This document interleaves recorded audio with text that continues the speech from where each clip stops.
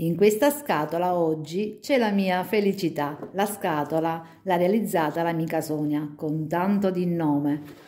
E dentro?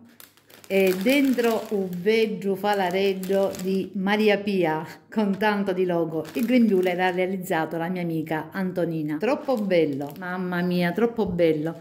Ragazzi, la felicità sta anche nelle piccole cose e per me la cucina è molto importante. Mi metto subito all'opera. Come mi sta? È troppo bello. Grazie Antonina e grazie Sonia. Ciao!